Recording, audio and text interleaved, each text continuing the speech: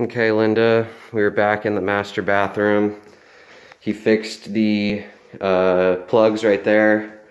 The lights that weren't coming on earlier are now coming on.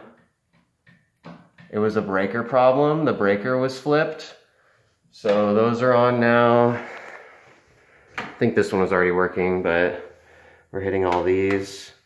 And so now you have the lights above the counter working as well. The light that's in the shower working now.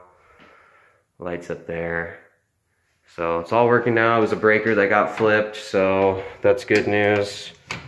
Nothing expensive, but uh, he also plugged these in, these GFI outlets, and uh, tested them for us as well. So coming together, um, he says that the seller's going to take these tires very shortly. And so now I'm about to check, I checked up here in the attic too. I crawled up there and looked way in the back. Could not see any other junction boxes that needed covering. Um, so that's good.